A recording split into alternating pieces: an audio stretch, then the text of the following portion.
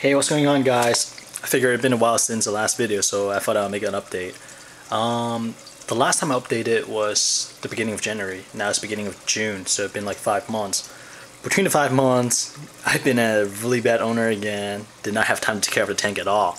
The most I've done is just like adding top off water maybe every, what, three, four days? Just pretty much top it off. Didn't even bother scraping the front. That's why it's so dirty up front. So, just a quick note to catch up a little bit. A bit of rundown. Um, last the last video I posted up is of the um, copper band butterfly fish. Unfortunately, he perished. Uh, he lasted a good 2.5 to 3 months. At first I had trouble getting him to feed, but then once I started feeding the blackworm, he was eating like a pig.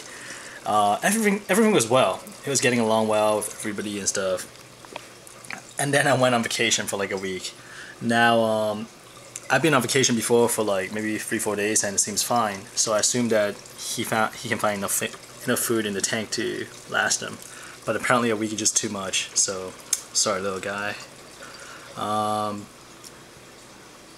the yellow watchman gobies, the pair still doing great, and I think they have like a probably like a huge maze beneath all these sand already. The pistol shrimp pretty much doubled up in size, and I still him clicking like every night. Oh, some good news the clowns, after years, I think the I have the female clown for what seven years now. The male probably like three or four years. They finally spawned. This is probably the fourth clutch. Probably can't see anything here, but um, it's pretty neat. The male will routinely go down there and just fan the rock. Let's see if he does it here. No, it's not.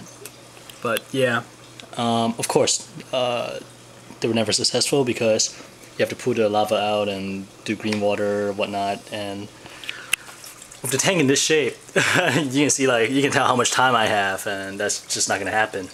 But it's great. This is like another step for them. Finally despawning. The rose anemone got huge. I say probably grew one third the original size. And I haven't been feeding them at all. All, all they've been getting just the sunlight.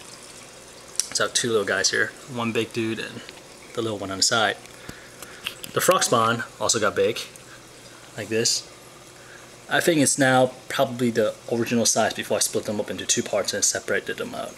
So it's almost time to frag them again. The clam, the mantle is folded like that because I kind of moved it a little bit before I started filming just to see what, what size it is now. It got bigger, definitely. Um, neon green toadstool in the back got a little bit bigger not not not too big of a change. I'm not sure if you can see the white toadstool in the back. That was actually a hitchhiker. It was probably the size of a nickel before. And now after five months it's, it's pretty big almost the same size as the neon green toadstool oh yeah by the way you can see all the algae here. I got explosion of these micro starfish probably because there's so much algae up front now and they're just like um, keeping up with the nutrient which is good. I mean it's not the coral eating type so I don't mind them at all. They actually look kind of cool. People would come visit and be like hey are those starfish? See? Yeah sorry it's kind of nasty back here. One bad thing though is like I got explosion of the Majano anemone. At first I had like maybe one or two and I thought, oh, you know, they look kind of cute, kind of colorful with pink tip, you know. So I kind of left them, and they just kind of exploded. I think maybe two or three months ago, I tried to um, eradicate them by using Joe's juice or like a kalk mix. Yeah, the other coral did not respond too well with them, so I just kind of left them. I mean, I mostly have um, soft corals or like LPS, and they're kind of hardy anyway, so it's alright. Actually, that's also one of the reasons why I got the copper band butterfly fish, because rumor has it that sometimes I eat these kind of anemones. Yeah, I never touch them. But anyways, that's the tank right now. Presentation-wise, is in pretty terrible shape.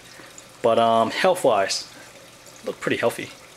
So, hopefully once I get a chance, maybe in a couple days, I can like scrape up the side and just organize things a little bit and maybe go away for a couple months again. Alright, talk to you guys.